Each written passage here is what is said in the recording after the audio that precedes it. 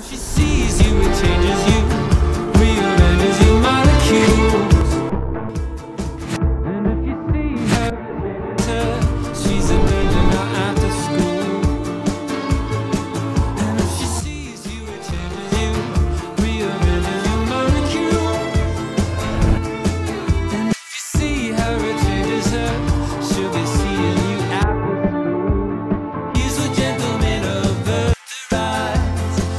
she's a gentleman in disguise.